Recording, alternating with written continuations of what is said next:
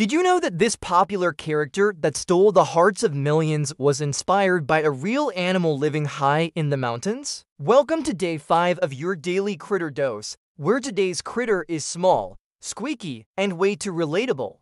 Pika, a tiny mountain mammal related to rabbits, can be found in the chilly highlands of North America and Asia. With their round little bodies, short limbs, and oversized cheeks, they look like the plushies of the alpine world. But don't be fooled by the fluff, they're hardworking gatherers. Because the pika does not hibernate, every day counts. They're little bundles of hustle, hoarding, and high altitude anxiety. The pika spends all summer gathering grasses, flowers, and moss, stacking them into neat little hay piles to snack on through the winter. And here's the cuttest part they squeak loudly.